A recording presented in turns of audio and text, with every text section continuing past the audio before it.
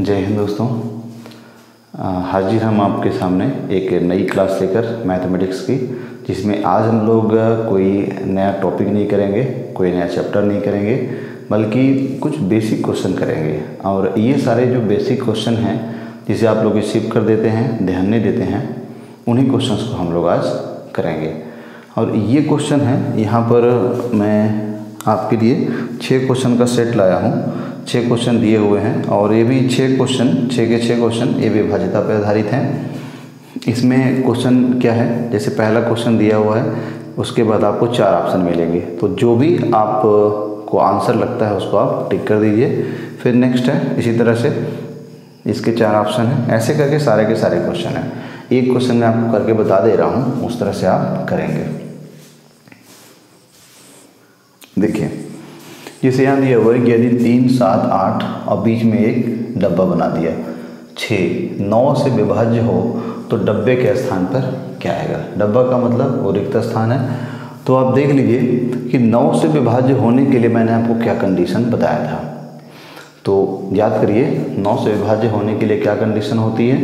कि कोई भी संख्या नौ से विभाज्य होगी यदि संख्याओं का योग नौ से विभाज्य हो विभाज्य हो मतलब कट जाए। तो ये संख्या नौ से विभाज्य है, इसका मतलब इस संख्या का योग जो है नौ से कटना चाहिए। तो आप इसको देखिए, सात, तीन, दस दस, आठ अट्ठारह अट्ठारह और छः चौबीस। और चौबीस में, चौबीस के आगे यहाँ क्या रख दिया जाए, ताकि जो संख्या आए, वो नौ से कट जाए। तो यहाँ तक आपका चौबीस आ गया ना, सात, तीन, दस दस, आठ अट्ठारह अट्ठारह छः चौबीस। और चौबीस के बाद अगर मैं पहले रखता हूँ तीन तो चौबीस तीन कितना हो जाएगा? सत्ताईस, और सत्ताईस नौ से कटता है। फिर अगर मैं मान लीजिए कि चार रखूँ तो चौबीस चार अट्ठाईस हो जाएगा। अट्ठाईस कटेगा नहीं। अगर मैं पाँच रखता हूँ तो चौबीस पाँच उनतीस, वो भी नहीं कटेगा। आठ रखूँगा तो चौबीस और आठ, बत्तीस, वो भी नहीं कटेगा। यानी हमारा आंसर क्या हो जाएगा? पहला। इसी तरह से आपके पास ये बाकी के पाँच क्वेश्चन हैं। आपके पास तीन से चार मिनट का समय है। वीडियो को पॉज करिए और इसको सॉल्व करिए। चलिए तो मैं आशा करता हूँ कि आपने वीडियो को पॉज किया होगा और इसको सॉल्व किया होगा और अब हम इसके सही आंसर करते हैं। ये कह रहा है, नौ से विभाज्य हो तो ये क्या भरा जाएगा यहाँ पर? तो नौ वर्ष सत्रह सत्रह तीन बीस बीस दो बाईस। बाईस के बाद अगर हम छः रखेंगे तो बाईस छः अट्ठाईस, पाँच रखेंगे तो बाईस, पाँच, सत्ताईस। सत्ताईस नौ से कटता है। इसका मतलब अगर हम पाँच रख दें तो संख्या कट जाएगी। तो आंसर आपका बी हो गया। नेक्स्ट यदि तीन, पाँच छः तीन तीन से विभाज्य हो तो पहले दोस्तों, तीन से विभाज्य होने के लिए क्या कंडीशन होती है? कोई भी संख्या तीन से, तब विभाज्य होती है जब योग जो है, संख्याओं का टोटल योग तीन से कट जाए। तो यहाँ देख लीजिए, पाँच तीन आठ आठ छः, चौदह चौदह तीन, सत्रह। तो सत्रह में आगे यहाँ क्या रखें ताकि वो तीन से कट जाए? तो सत्रह के लिए हम यहाँ अगर तीन रखेंगे तो सत्रह तीन बीस बीस नहीं कटता है। दो रखेंगे तो सत्रह दो उन्नीस, वो भी नहीं कटेगा। एक रखेंगे तो सत्रह और एक अट्ठारह अट्ठारह तीन से कटता है।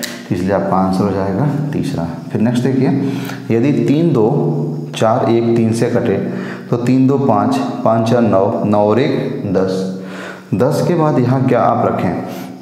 छः रखेंगे तो दस, छः, सोलह हो जाएगा। तीन से नहीं कटेगा। चार रखेंगे तो दस, चार, चौदह हो जाएगा। वो भी नहीं कटना। तीन रखेंगे तो दस, तीन, तेरह हो जाएगा। वो भी नहीं कटेगा। दो रखेंगे तो दस, दो, बारह कट जाएगा। तो ये आपका आंसर हो गया। यहाँ देखिए, आठ, सात, ज़ीरो गैप ज़ीरो। आठ से विभाज्य है तो इस खाली डब्बे के स्थान पर क्या आएगा? आठ से विभाज्य हो जाए कोई संख्या, इसके लिए हमने आपको क्या शब्द बताया था कि संख्या का,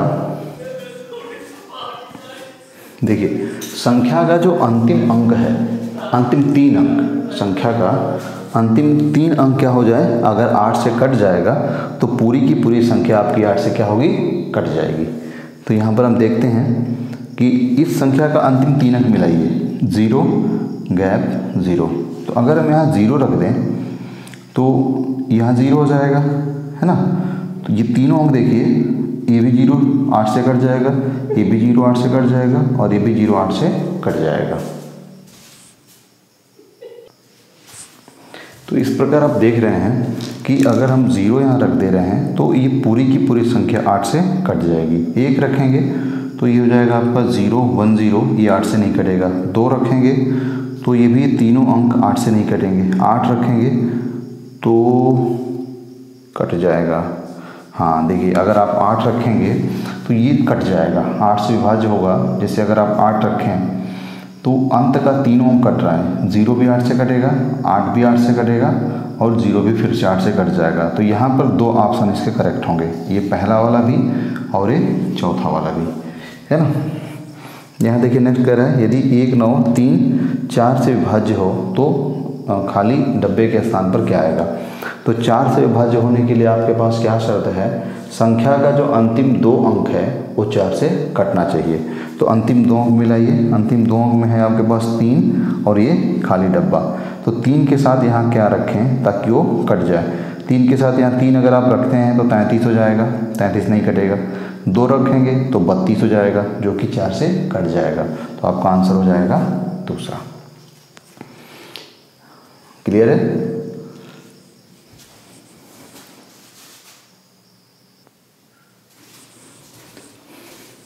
दोस्तों, पहला सेट हमने सॉल्व कर लिया। पहले सेट में मैंने आपको कुछ बेसिक क्वेश्चन दिए, जिसमें विभाज्यता से संबंधित क्वेश्चन थे। लेकिन जो सेट सेकंड है, ये है आपके पास सेकंड सेकंड सेट जिसमें ये जो क्वेश्चन हैं, ये भी आपके बेसिक से ही हैं। तो इनको देख लीजिए क्या है। जैसे पहला क्वेश्चन है आपका कि अगर हम 111 में 111 से गुणा करें तो कितना आंसर आएगा? फिर नेक्स्ट क्वेश्चन है 1111 में अगर 11 से 11 से गुणा करें तो कितना आंसर आएगा? और 11111 में 11111 से गुणा करें तो कितना आंसर आएगा? फिर नेक्स्ट तीसरा, चौथा क्वेश्चन देखिए, कि निम्न संख्याओं में से कौन सी संख्या परिमेय है? तो आपको इसमें से बताना है कौन सी परिमेय है। जो जो परिमेय होगी, उस पर आपको टिक करना है परिमेय भी कर लीजिए परिमेय और अपरिमेय है। आप इसमें से हम्म, यहाँ पर परिमेय की जगह आप लिखिए कौन सी संख्या अपरिमेय है? आपको अपरिमेय छांटना है। अपरिमेय छांट लेंगे तो बाकी जो बचेगा वो परिमेय संख्या हो जाएगी। फिर नेक्स्ट कह रहा है कि सबसे छोटी अभाज्य संख्या इनमें से कौन सी होगी? तो मैंने क्वेश्चन थोड़ा सा छोटे में लिखा हुआ है, आप पूरा समझ जाइए कि सबसे छोटी अभाज्य संख्या क्या होगी। तो आपके पास ऑप्शन है, पहला, दूसरा, तीसरा, चौथा, जो भी आपको आंसर मानना है। फिर नेक्स्ट है सबसे छोटी सम संख्या क्या होगी? तो इसमें से आपको ऑप्शन करना है। सबसे छोटी विषम संख्या, ये आपको आंसर करना है। सबसे छोटी भाज्य संख्या, आपको ये ऑप्शन करना है। और ऑप्शन करना मतलब ये चार में है, चार ऑप्शन है, इसमें से आपको कोई एक आंसर चुनना है। फिर कह रहे निम्न संख्याओं का कौन सा जोड़ा सह अभाज्य का है? अब आपके दिमाग में सह अभाज की जो मैंने बात बताई थी, अगर याद है तो आप इस आंसर को आसानी से कर पाएँगे। चलिए तो मैं एक क्वेश्चन कर देता हूँ। जैसे यहाँ पर ही है कि 1100 111 में अगर हम 111 से गुणा करें तो जनरल रूप में हम क्या करते हैं? गुणा करेंगे, कहीं किनारे, लेकिन आपको नहीं करना है। अगर जितने एक हैं, उतने ही एक से गुणा हो रहा है तो इसका आंसर आ जाएगा एक, दो, तीन, दो, एक। ये हो जाएगा इसका आंसर। क्योंकि अगर हम 11 में 11 से गुणा करते हैं तो इसका आंसर आता है एक, दो, एक। देखिए जितने भी अंक होते हैं जैसे यहाँ पर दो अंक दिया हुआ है दो एक एक हैं तो आपको दो तक जाना है फिर उसके बाद कम होना है। जैसे यहाँ पर तीन दिया है तो आपको तीन तक जाना है। तो एक दो तीन फिर उसके बाद आप उतना ही आ, उसी जैसे आप आगे बढ़े थे उसी तरह से आप पीछे आएँगे। जैसे एक दो तीन फिर तीन के बाद आप डाउन होंगे तो तीन के बाद दो पड़ेगा फिर एक पड़ेगा। इसको देख लीजिए जैसे यहाँ पर चार है और यहाँ चार अंक एक से गुड़ा हुआ है। तो यहाँ पर आप कहाँ तक जाएँगे? चार तक। तो एक, दो, तीन, चार। अधिकतम चार तक जाएँगे। उसके बाद डाउन होंगे। कहाँ तक? एक तक। तो चार के बाद डाउन होंगे तो तीन आएगा, फिर दो आएगा, फिर एक हो जाएगा। मीन्स जहाँ तक आपने अधिकतम अंक तक आप गए, उसके बाद इस अधिकतम अंक के पहले जो अंक आपने लिखा है, उसी अंक को फिर से आप दोबारा लिख दीजिए। ये आपका आंसर हो जाएगा। इसका आंसर बताइए आप। एक, दो, तीन, चार, पाँच। तो इसका आंसर हो जाएगा एक, दो, तीन, चार। वैसे आप खुद ही इसको लिखेंगे, मैं इसका आंसर नहीं दे रहा। तो इसको आप क्वेश्चन को ध्यान से पढ़िए और आपके पास फिर से तीन से चार मिनट का समय है। वीडियो को पॉज करिए और इसका आप आंसर दीजिए। सभी लोग, जो भी आपका आंसर आ रहा है, आप उस जैसे इसको आपको करना है तो बस टिक कर दीजिएगा। कि हाँ इसमें कौन कौन सा परिमेय है? इसमें कौन सा ऑप्शन है? इसमें कौन सा ऑप्शन सब आप कर लीजिए। फिर जब मैं इसको सॉल्व कराऊँगा तो आप मैच करिएगा कि आपने कितने आंसर सही किए। चलिए तो वीडियो को पॉज करिए और इसको सॉल्व करिए। चलिए तो आशा करता हूँ कि आपने क्वेश्चन को सॉल्व कर लिया है। तो यहाँ पर सबसे छोटी अभाज्य संख्या।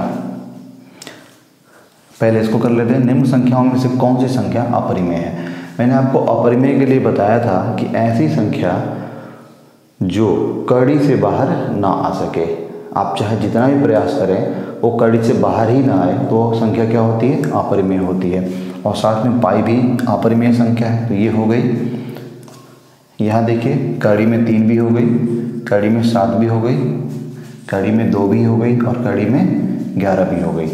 अब आप सोच रहे होंगे कि मैंने कड़ी में सोलह को क्यों नहीं किया? कड़ी में पच्चीस को क्यों नहीं किया? तो इसका कारण ये है कि कड़ी में सोलह का मतलब हुआ कि सोलह का वर्गमूल। और कड़ी में सोलह यानी सोलह का वर्गमूल कितना होता है? चार होता है। यानी ये संख्या भले ही दिखने में कड़ी में सोलह है, लेकिन एक्चुअल में क्या है? चार है। यहाँ पर हम देखें कि कड़ी में पच्चीस है। कड़ी में पच्चीस देखने को है, लेकिन वास्तव में क्या है? पाँच है। तो ये कड़ी से बाहर आ गए ये भी कड़ी से बाहर आ गया तो इसलिए परिमेय होगी, ये भी परिमेय होगी, और ये भी आपकी परिमेय संख्या होगी। फिर नेक्स्ट कह रहा है, सबसे छोटी अभाज्य संख्या क्या है? तो सबसे छोटी अभाज्य संख्या, बहुत लोगों ने हो सकता है वन माना हो, लेकिन सबसे छोटी अभाज्य संख्या क्या होती है? दो होती है। एक अभाज्य संख्या नहीं होती है, एक विषम संख्या होती है। सबसे छोटी सम संख्या तो बहुत लोगों ने सही मारा होगा सबसे छोटी संख्या होती है, विषम संख्या सम संख्या दो। सबसे छोटी विषम संख्या तो विषम संख्या शुरुआत कहाँ से होती है? एक से तो आपका आंसर हो जाएगा एक। सबसे छोटी भाज्य संख्या भाज्य संख्या किसे बोलते हैं? जिस संख्या को काटने वाले कम से कम तीन लोग हों। एक तो एक हो, दूसरा हो खुद संख्या हो, और बीच में एक और संख्या हो जो उसको काट सके। तो सबसे छोटी भाज्य संख्या हो जाएगी चार। फिर नेक्स्ट है, निम्न संख्याओं का कौन सा जोड़ा सह अभाज्य है? अब इसमें अगर आपको सह अभाज्य का कंसेप्ट नहीं पता है तो इस क्वेश्चन को आप नहीं कर पाएँगे। तो सह अभाज्य संख्या क्या होती है?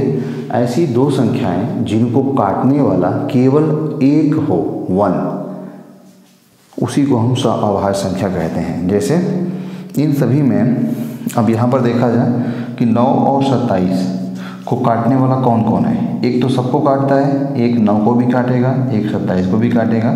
लेकिन इन दोनों को एक साथ काटने वाला तीन भी है। तीन नौ को भी काटेगा, सत्ताईस भी काटेगा और नौ भी काट देगा दोनों को। तो यहाँ तो तीन तीन लोग काटने वाले हो गए, लेकिन होना कितना चाहिए मात्र? एक आदमी। यहाँ देखें तो एक तो दोनों को काटेगा ही। एक के अलावा पाँच भी दोनों को काटेगा। पाँच अठे चालीस और पाँच सत्ते पैंतीस। यहाँ देखिए जा एक तो दोनों को काटेगा, साथ में पाँच भी दोनों को काटेगा। तो जब एक के अलावा भी कोई काटने वाला मिल गया तो वो संख्याएँ आपस में सह अभाज्य संख्याएँ होती हैं। तो इसलिए हमारा ऑप्शन हो जाएगा बी क्योंकि ये दोनों, ये अलग तीन से कटेगी, ये अलग दो से कटेगी, लेकिन दोनों एक साथ किसी संख्या से नहीं कटेंगे सिवाय एक के। तो एक ही ऐसी अकेली संख्या है जो दोनों को एक साथ काट सके। क्योंकि तीन से अगर आप काटेंगे तो तीन से नौ तो कटेगा, लेकिन चौदह नहीं कटेगा। दो से काटेंगे तो दो से चौदह तो कटेगा, लेकिन नौ नहीं कटेगा। तो एक साथ दोनों को कोई संख्या एक के अलावा नहीं काट पाएगी। तो ये रहे आपके आंसर। और इसका आंसर क्या हो जाएगा? एक, दो, तीन, चार, पाँच। तो आप जाइए पाँच तक। एक, दो, तीन, चार, पाँच। फिर आपने पाँच के पहले जितना लिखा था, उसी को फिर से लिख दीजिए, लेकिन इधर से। चार, तीन, दो, एक। ये आपका आंसर ये क्वेश्चन मैंने आपको इसलिए करवा दिया कि ये क्वेश्चन एग्ज़ाम में आता रहता है। तो लड़के क्या करते, क्या हैं कि अगर इनको ये कंसेप्ट नहीं पता है तो फिर ये पूरा पूरा गुड़ा करते हैं। क्योंकि उन्हें लगता है कि क्वेश्चन तो बड़ा आसान है, ये तो आ ही जाएगा हमसे। तो इस चक्कर में जहाँ क्वेश्चन का आंसर पाँच सेकंड में आना चाहिए, उस क्वेश्चन का आंसर आप वो दो से तीन मिनट में देते हैं। तो इस तरह से उनके लिए ये प्रॉब्लम है। तो आप समझ गए होंगे कैसे इसका आंसर देना है। तो आज हमने किया कुछ बेसिक क्वेश्चन जो कि आपके लिए बहुत ही बेसिक थे, लेकिन इंपॉर्टेंट भी थे क्योंकि ये सब चीज़ें ऐसी हैं, जो कि आप भूल जाते हैं अक्सर। तो इस वीडियो को जब भी आप आवश्यकता हो बेसिक क्वेश्चन को समझने की तो ये सारे बेसिक क्वेश्चन जो अक्सर एग्ज़ाम में पूछे गए हैं, वो मैंने यहाँ पर डिस्कस किया है। इसको आप दोबारा भी देख सकते हैं। तो चलिए दोस्तों, आज के लिए आपकी क्लास यहीं तक। जय हिंद।